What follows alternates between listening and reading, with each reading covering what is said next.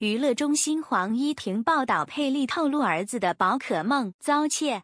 图翻摄自 YouTube。佩莉一家 Perry Family 原生家庭的教育对人发展影响相当大。网红佩莉近日就在影片中表，儿子将心爱的宝可梦卡带到学校，不料却遭到学窃走，不知该如何是好的儿子回家时忍不住泪向佩莉说明，并要拜托他不要告诉爸爸。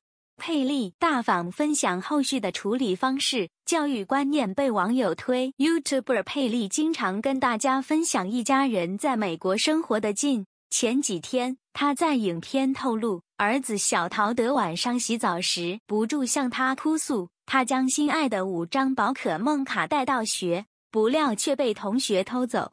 佩莉表示，儿子平时就会寸步离地将珍藏的宝可梦卡带在身边，也坦言。过就曾告诫小陶德不要将贵重的物品带学校，因如此，儿子担心遭到爸爸责骂，所以拜托佩利布告诉爸爸。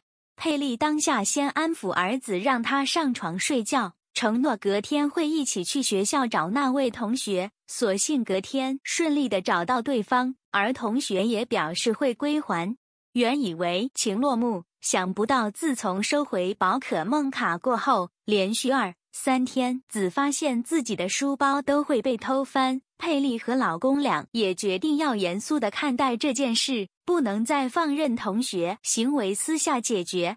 某天，夫妻俩一同到学校的办公，透过老师去联系对方的家长，让孩子明白这是误的行为，最终事情才安然结束。佩利透露。在儿书包被翻的第二天时，他也忍不住在私底下找同跟家长告知他们小陶的书包被翻的情况。想不，家长当下直接否认是自己孩子做的，让他纳闷，又没有问你小孩，你怎么会知道？佩利认为，努力孩子尝试能让儿子明白家人在乎他。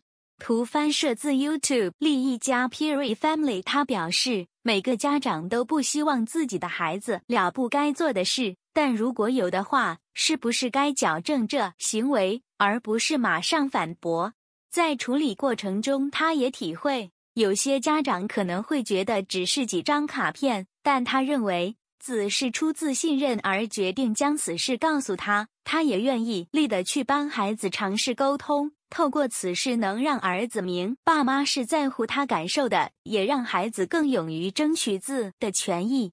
影片一出，引来大量网友留言认同家长念正向才能适时帮助小朋友，而不是小朋友单被骂不敢说，反而失去学习解决问题的机会。好，欢您处理这件事的态度跟做法，根本不是问题小与大，而是问题背后隐藏的教育问题。孩子从的教育真的很重要，要从小认清什么是对的，时是错的，也很在乎小孩子的感受。这种正确的教观真的很好。佩利分享儿子在学校发生的故事，片来自 YouTube 佩利一家 Perry Family 频道。若遭移除，请见谅。